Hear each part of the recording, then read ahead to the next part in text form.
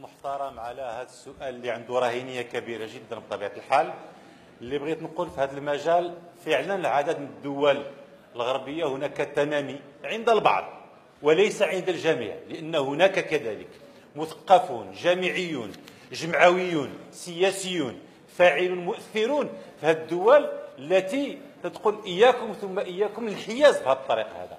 اذا ما كاينش فقط اللي ديال التطرف ولا ديال الكراهية هناك كذلك من يقول كفى من هذا الشيء هذا النقطة الثانية هناك يقظة محلية على صعيد هذه الدول. متابعة وتتبع دائم ديال التمثيليه الدبلوماسية ديالنا وهذه الدول الإقامة قامت بعدد إجراءات مثلا لحماية مثلا المساجد ديالنا والأماكن التي تمشيو لها المسلمين بصفة عامة.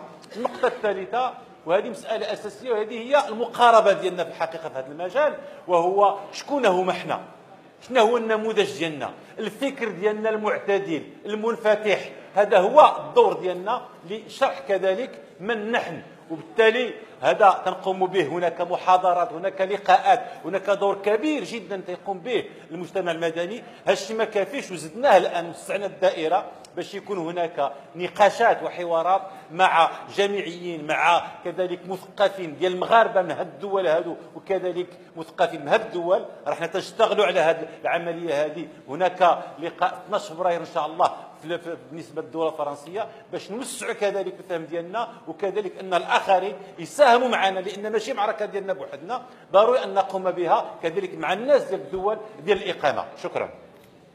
تعقيب